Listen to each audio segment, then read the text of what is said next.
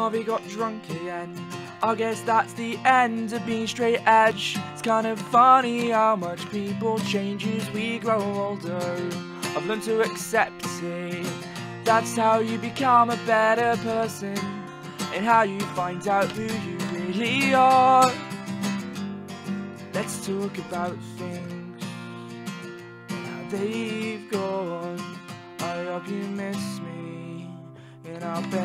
taking my time with you. Two years too late and now I'm stuck up in my room, making up songs for you. Got all the days where I'll get drunk and dream of sleeping in your room. Get drunk and end up.